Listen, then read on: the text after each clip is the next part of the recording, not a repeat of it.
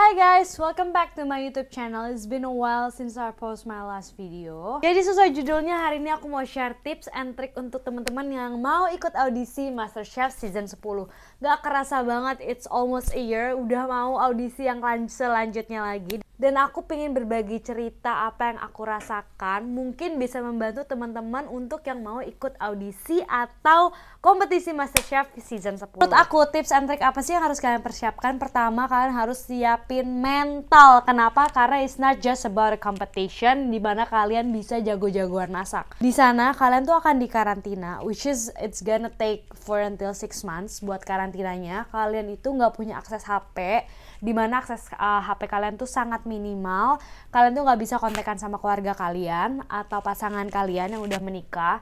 Uh, it is difficult it is tough tapi kalau misalnya kalian tahu tujuan kalian apa dan kalian udah mempersiapkan diri kalian pasti akan menjalani itu dengan enjoy. Karena um, yang paling sulit bukan kompetisinya actually tapi karantinanya. Kalian harus make sure kalian tuh punya tujuan dan karakter yang kuat. Karena sekali lagi itu bukan hanya kompetisi masak aja tapi it's a, it's a reality show. Jadi kalian juga tahu karakter kalian apa dan kalian tuh strong in apa. Misalnya kalian sukanya buat dessert. Jadi kalian tuh strong in dessert. Atau kalian itu jago masak Indonesia. Atau mungkin Japanese food, western food, anything. As long kalian punya satu keunggulan dan punya karakter yang kuat. Karakter itu maksudnya kayak gimana sih? Contoh kalian itu orang yang seperti apa misalnya kalian adalah orang yang dominan di mana kalian bisa memimpin atau kalian orang yang tipe ngikut aja yang selalu suka damai. Nah, itu kalian harus tahu kalian orang yang seperti apa. Mungkin di sana nggak akan ditanya, tapi seiring berjalannya kompetisi kalian jadi tahu dan bagaimana memposisikan diri kalian. Yang ketiga, you have to be creative. Mungkin banyak banget ya yang nanya, kompetisi MasterChef tuh disetting gak sih? Kita udah tahu gak sih masaknya tuh apa sebelumnya? Atau mungkin kayak kita udah di brief gak sih kalau misalnya mystery box challenge-nya apa? No, jadi sebetulnya yang kalian lihat itu ya emang kita juga nggak tahu dan betul-betul kompetisi masak di mana kita nggak tahu challenge-nya apa dan saat kita masuk ruangan kita baru tahu dan itu deg-degan deg-degannya banget tapi seru at the same time. Awalnya jujur aku tuh deg-degan banget tiap kali masuk tuh keringet dingin tapi lama-lama tuh jadi enjoy jadi di bawah have fun aja. Nah kalian tuh harus make sure kalian tuh tipe yang jangan stresan harus calm down dan kalian tuh harus kreatif karena ya challenge-nya nggak tahu apa dan sometimes kalian tahu dong kalau masak kalau baking tuh pasti ada aja yang yang tidak berjalan sesuai prediksi atau sesuai yang kalian mau. Nah itu tuh kalian harus langsung muter otak in a second. Kalian harus tahu anjir makanan gue gosong berarti gue harus bikin apa yang lain. Aduh gue baking tapi ternyata bantet berarti gue jalan keluarnya apa nih. Kalau kalian pasrah aja dan gak kreatif sama sekali, nah itu ya pasti susah untuk lanjut di kompetisi. Lebih ke makanannya bisa dilepehin atau dibuang ke tong sampah. Ya kalian pernah lihat lah ya chef-chef itu segalak apa.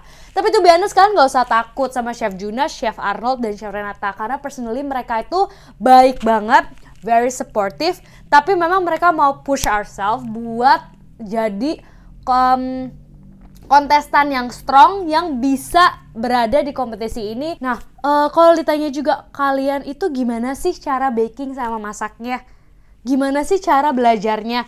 Well, kita itu di karantina nggak belajar sama sekali. Jadi kalau misalnya kalian itu suka masak, make sure kalian itu belajar dulu di rumah sebelum karantina. Jadi jangan harap kalian di karantina itu belajar masak, nggak ada belajar-belajar sama sekali. Lebih ke belajar masing-masing. Jadi kalau aku dulu, aku tuh bawa banyak banget buku. Karena ya emang kita kan nggak punya akses HP ya. Jadi ya belajarnya itu supaya buat ngisi waktu, aku lebih ke olahraga di kamar sama aku banyak baca referensi buku. Punya harus punya referensi buku yang beragam. Jadi kayak misalnya masakan Indonesia, masakan Jepang, masakan Korea atau dessert. Kalian harus punya pegangan. Jadi misalnya kalau misalnya challenge-nya ayam, masak Indonesia kalian tahu masak apa. Kalau misalnya challenge-nya Korea, kalian exactly tahu rasa harus masak apa. Kalau misalnya challenge-nya kacang-kacangan, kalian harus tahu masak apa. Jadi kalian punya satu pegangan di mana kalian bisa lock untuk pasti masak itu saat kalian tahu kira-kira main challenge-nya itu apa. Jadi sebetulnya tips and triknya kalian tuh nggak usah belajar terlalu banyak karena nanti pusing. Jadi pegang aja pergara atau kira-kira per main ingredients kalian tahu mau masaknya apa dan masak yang kalian confident. Kenapa? Gak usah terlalu masak aneh-aneh kalau misalnya kalian masih di tahap awal. Karena semua pasti punya strategi ya. Kalau menurut aku, strateginya yang pertama kali kalian masak yang kalian confident dulu, yang kalian yakin. Karena sebetulnya di awal-awal pasti akan dicari yang lebih jelek atau yang lebih buruk dari kalian. Nah, saat udah top 10, kalian boleh boleh mulai berkreasi. Masak yang mungkin di luar comfort zone kalian, tapi juga harus hati-hati kalian harus tahu kompetitor kalian itu strong in what area karena itu juga bisa menjadi kunci buat kalian. Tapi kalian juga harus lihat-lihat ya kompetitor kalian itu jago-jago atau enggak. Kalau misalnya kalian tahu kompetitornya jago-jago semua, terus kalian cuma main aman terus ya itu juga pasti akan sulit. Jadi kalian juga harus bisa memposisikan diri sendiri. Nah, itu tips and trick dari aku dan yang pasti kalian harus punya banyak referensi masakan. Yang terakhir, kalian harus make sure kalian punya palette yang baik. Ya kalau misalnya masak, pasti akan ada challenge di mana kita juga nggak tahu itu makanan apa. Kita harus tebak ingredientsnya apa hanya dengan mengandalkan rasa atau panca indera dari mulut kita. Nah itu kalian harus banyak makan, kalian harus punya banyak referensi ingredients, kalian harus banyak coba. Karena once kalian udah di karantina, kalian gak akan coba apa-apa. Kalian cuma makan apa yang dikasih dari tim, atau mungkin kalian grab atau gojek. Nah itu kan cuma itu-itu aja gitu. Jadi make sure kalian tuh udah cobain banyak beragam makanan. Other tips and the last one, kalian harus punya small book atau buku kecil di mana kalian punya resep-resep yang kalian udah pelajarin.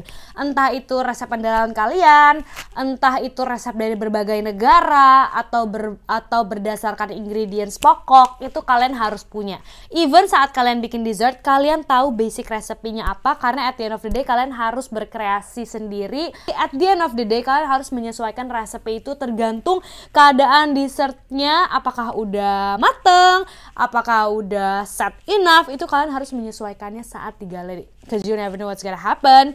Nah, saat kalian punya buku resepi kecil itu kalian akan bawa ke mana-mana. Saat kalian nunggu di galeri, kalian bisa baca resepi kalian. Saat kalian mau ke toilet, kalian bisa baca resepi kalian buat inget lagi to refresh your memory. Tapi inget jangan sampai kalian bawa resepi booknya ke dalam. Kalian tahu dong pernah ada season-season sebelumnya yang nggak sengaja bawa resepi book ke dalam dan harus langsung didiskualifikasi. Untungnya pas season aku tuh nggak ada yang kayak gitu. Anyway, oke okay guys, I wish you guys all the best. Pokoknya kalian harus make sure kalian tahu tujuan kalian apa. Enjoy all the journey karena itu seru banget dan make sure kalian pilih teman yang tepat. Pertemanan pasti ada yang cocok dan yang ada yang nggak cocok dong. Nah kalian pilih orang yang tepat, di mana yang bisa cocok dan satu visi dengan kalian, yang bisa support kalian, yang bisa berkompetisi secara positif.